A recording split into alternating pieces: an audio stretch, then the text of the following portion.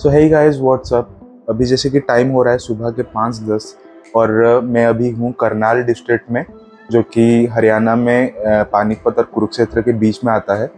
तो आज हम यहाँ से निकलने वाले हैं देहरादून के लिए। हम मतलब मैं और मेरा एक दोस्त जा रहा है, और हम अपने जीटी में मतलब कॉन्टिनेंटल जीटी जो मेरी बाइक है, उस पर हम ट्रैवल करने वाले हैं। यहाँ से ऑलमोस्ट 150 किलोमीटर्स के आसपास पड़ेगा। और देखते हैं रोडवेज़ कैसा है और ये मेरा फ़र्स्ट एक्सपीरियंस है इसमें तो मुझे भी नहीं पता ही कैसा जाएगा, क्या जाएगा। तो जर्नी में डर तो है मुझे, पर डर से ज़्यादा एक्साइटमेंट है। तो देखते हैं आगे कैसा, क्या होता है। तो लेट्स बिगेन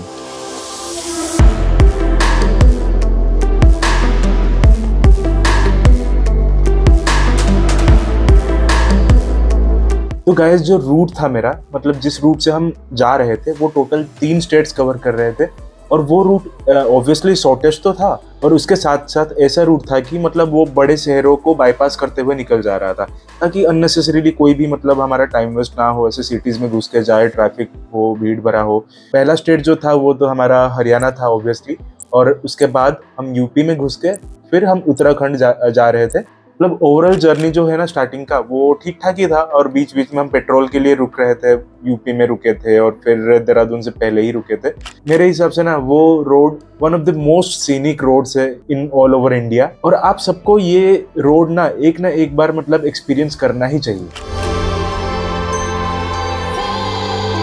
देहरादून में पहुँच के सबसे फ़र्स्ट जो प्लेस था जिसको हम विज़िट किए, वो था माइंड रोलिंग मोनेस्ट्री बेसिकली ये एक बुद्धिस्ट मोनेस्ट्री है, जिसमें टेम्पल्स स्कल्पचर्स स्टैचूज और बहुत ही अलग अलग चीज़ें थे देखने को। ये देहरादून में घुसते ही जो स्टार्टिंग में ही पड़ता है और यहाँ पर जाके आपको लगेगा कि आप तिब्बत वगैरह जैसे जगह में आ गए हो।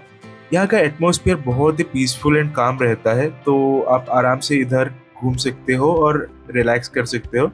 इस जगह का सबसे बेस्ट पॉइंट जो मुझे लगा ना, वो ये फॉरेस्ट है, जो इसके ठीक पीछे ही है। और बहुत ही सुंदर है ये और इस जगह को एक डिफरेंट वाइब और डेप्थ देती है फॉरेस्ट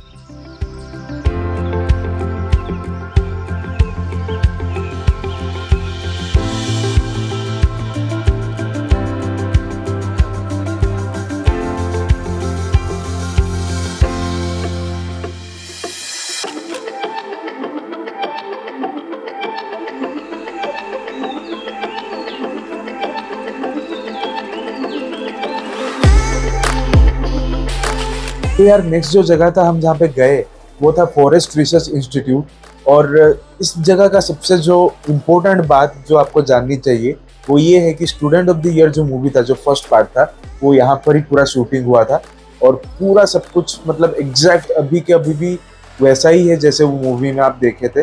और सबसे बेस्ट बात ये है कि ना, ये एक रिसर्च इंस्टीट्यूट है, यहाँ पर प्रॉपर स्टूडेंट्स रहते हैं, सब प्रोफेसर रहते हैं। पर फिर भी यहाँ पर घूमने के लिए मतलब ये कैंपस इतना सुंदर है, इतना बड़ा है कि यहाँ पर घूमने के लिए मतलब एंट्री दिया गया है। आप कार लेके बाइक लेके सब कुछ लेके जा सकते हो। एंट्री का कुछ फ़ीस रहता है, कुछ बीस तीस रुपए ऐसा कुछ रहता है। तो आराम से आप जाके वहाँ पर घूम फिर के आ सकते हो उसके अंदर। और इतना ग्रीनरी है वो कैंपस में कि मैं क्या ही बोलूँ मतलब अलग ही लेवल का ग्रीनरी है वहाँ पे। और जो मेन बिल्डिंग है ना उनका, वो तो सातवें आसमान में है जैसे लगता है पूरा। और मतलब वो मेन बिल्डिंग के ठीक पीछे मतलब आपको पहाड़ दिखेंगे पूरा, दूर में मतलब बड़े बड़े पहाड़ पूरा। और बहुत लोग जाके वहाँ पर फोटोग्राफी वगैरह करते हैं।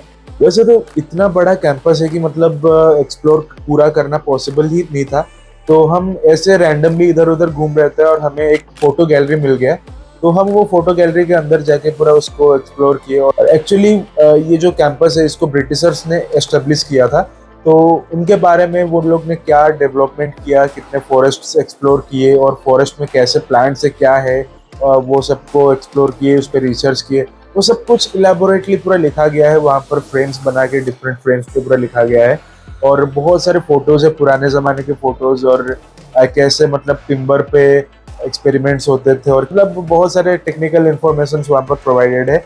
तो वो भी एक बहुत सुंदर जगह था और उसके बाद हम मेन बिल्डिंग को गए और वो मेन बिल्डिंग का तो क्या ही बोलूँ। तो ये जगह बिना जाए वहाँ से लौटना ही मत, एक ना एक बार इसको विज़िट करना ही। और ये वर्थ इट था। और देहरादून में सबसे ज़्यादा टाइम हम यहीं पे ही बिताए थे पूरा। तो फाइनली हम इतना वेट करने के बाद दोपहर में हम रोबर्स केव गए।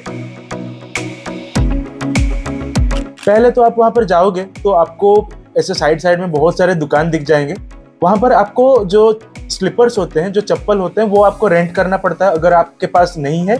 और वो चप्पल पहन के आपको पानी में उतरना पड़ता है वहाँ पे, क्योंकि वहाँ पे जो पानी होता है, वो घुटने से ऊपर लेवल तक जाता है और पानी के अंदर से चल के हमें पूरा आगे जाना पड़ता है। तो वहाँ पर आपको ग्रैंड कैनियन जैसे वाइब्स आता है, क्योंकि दोनों साइड में ऐसे मतलब पहाड़ रहते हैं या फिर पत्थर जो भी आप कहो वो सब रहते हैं बड़े बड़े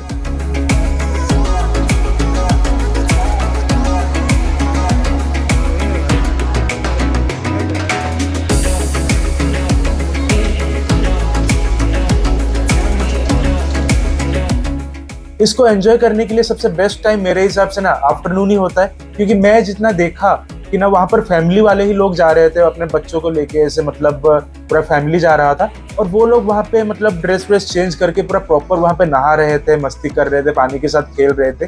तो फैमिली के लिए ये सबसे बेस्ट प्लेस है। मैं और मेरा दोस्त जब चल के जा रहे थे आगे, हमें बीच में एक सांप भी दिख गया था। वो पानी में मतलब ऐसे जा रहा था। बहुत सारे लोग वहाँ पे पैनिक वैनिक भी हो गए थे पूरा। और ओवरऑल वहाँ का एक्सपीरियंस बहुत ही अच्छा रहा मेरे हिसाब से।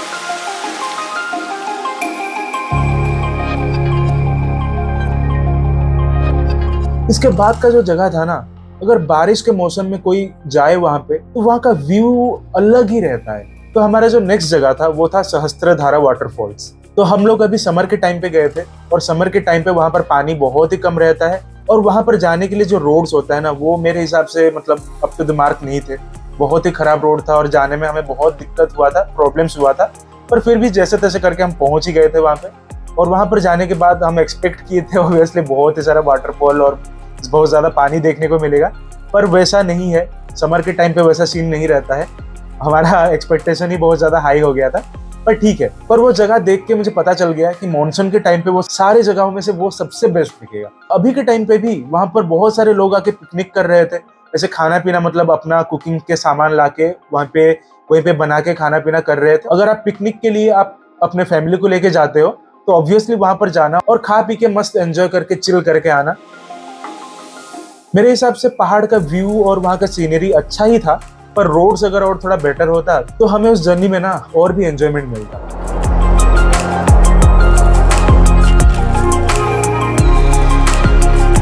तो यार, उसके बाद हम निकल पड़े देहरादून से मसूरी के लिए। तो हम लोग इवनिंग के टाइम पे निकले थे, और इवनिंग के टाइम पे जब सनरेज मतलब वो जो पहाड़ों पे पूरा खिल रहा था तो वो सीन ना अलग ही था मतलब out of the world type feeling था।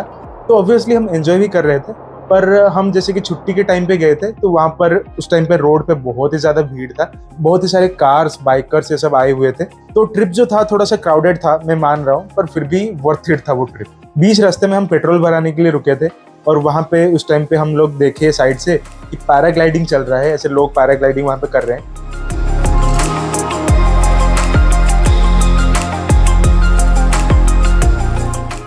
तो फाइनली हम मसूरी के मॉल रोड में पहुँच गए।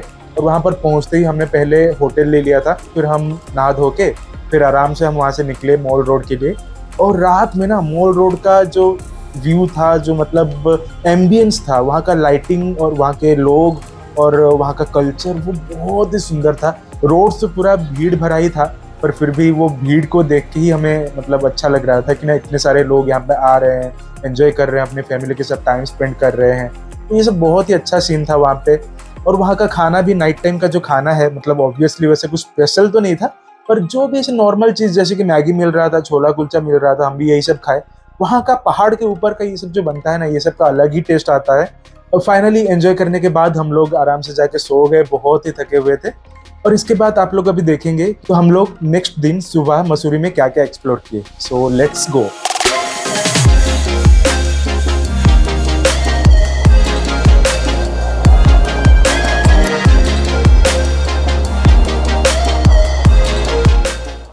मसूरी में हम लोग दो ही जगह घूमे थे और उनमें से जो फ़र्स्ट लोकेशन था, वो था केम्पटी फॉल्स और केम्पटी फॉल्स को जाने के लिए जो रास्ता था मॉल रोड से केम्पटी फॉल्स जाने के लिए, वो ओवरऑल बहुत ही अच्छे थे। और, पहाड़ में ना गाड़ी चलाने का फीलिंग ही अलग आता है। वहाँ पर जो कर्व्स आते हैं और वहाँ के जो साइड साइड में पेड़ पौधे होते हैं, पहाड़ होता है, वो सबको देख के जाना ना अलग ही फीलिंग है उसमें। और मेरे हिसाब से केम्प्टी फॉल्स मतलब विज़िट करने का सबसे बेस्ट टाइम है मॉर्निंग टाइम और वहाँ पे ना बहुत सारे एक्टिविटीज़ ऐसे करने के लिए, वो क्या है ना मतलब केम्प्टी फॉल्स जो है, ऊपर से ऐसे झरना बह के आता है और नीचे में एक आर्टिफिशियल टाइप वो लोग बना दिए हैं वाटर पार्क टाइप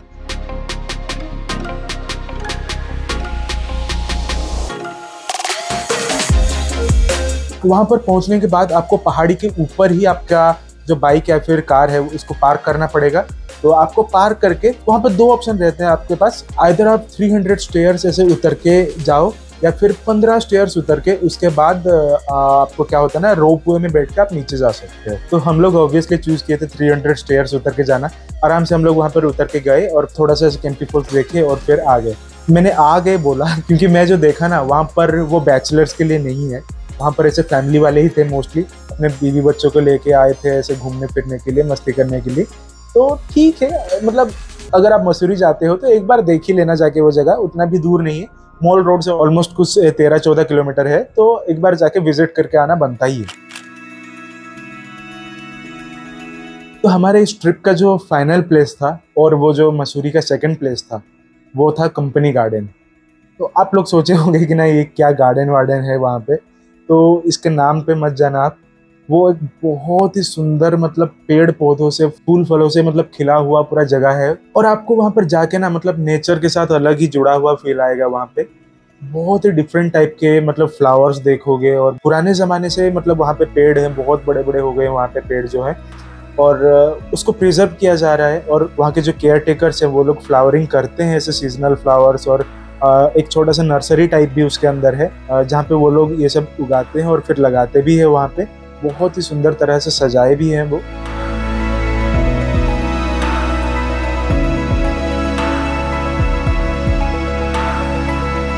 वहाँ पर एक आर्टिफिशियल वाटरफॉल भी बना दिए हैं। तो वो वाटरफॉल के पास ऐसे मतलब फोटोग्राफी के लिए बहुत ही अच्छा लोकेशन है। हम भले वहाँ पर ऐसे छुट्टी के टाइम पे थोड़ा भीड़ भीड़ रहता है तो आप अगर खाली टाइम पे जाते हो तो वो मतलब जन्नत टाइप लगेगा आपको जगह। वहाँ पे ऐसे बच्चों बच्चों को और फैमिली को लेके जाके मतलब फन एक्टिविटीज़ करने के लिए बहुत कुछ अपॉर्चुनिटीज़ आपको मिलेंगे। ऐसे मतलब छोटा सा एक वो बिग व्हील टाइप रहता है और ऐसे छोटे मोटे एक्टिविटीज़ रहते हैं वहाँ पर करने के लिए। और खाने पीने के लिए वो कंपनी गार्डन के अंदर भी है वहाँ पर रेस्टोरेंट टाइप है वहाँ पे। तो आराम से आप लोग वहाँ पे दो चार घंटा ऐसे बिता के टाइम पास करके फिर आ सकते हो। मेरा ना ये पहाड़ों में सबसे पहला बाइक राइड था और ये बहुत ही अच्छा गया। और ये ट्रिप में ना मैंने इतने सारे मेमोरीज क्रिएट किए, इतने सारे अच्छे और नए मेमोरीज क्रिएट किए, जिनको मैं ज़िंदगी भर के लिए मतलब चेरिश करूँगा। और ये ट्रिप ने मुझे नेचर से करीब होने का एक एहसास दिया और मेरे हिसाब से हम इंसान, हमारा जो मेंटल हेल्थ है, उसको कॉम्प्रोमाइज़ करके हम लोग अपने जॉब में या फिर हमारे डेली लाइफ में बहुत ही ज़्यादा बिज़ी हो जाते हैं। और इवेंचुअली ये बहुत ही ख़राब साबित होता है बहुत लोगों के लिए। और मेरे हिसाब से ना, ये सब चीज़ों के लिए कभी भी मतलब अपॉर्चुनिटी आता नहीं है। हमें खुद से बनाना पड़ता है, हमें खुद से टाइम निकालना पड़ता है ये सब चीज़ों के लिए। और हमें टाइम निकाल के खुद की खुशी का भी ध्यान रखना चाहिए।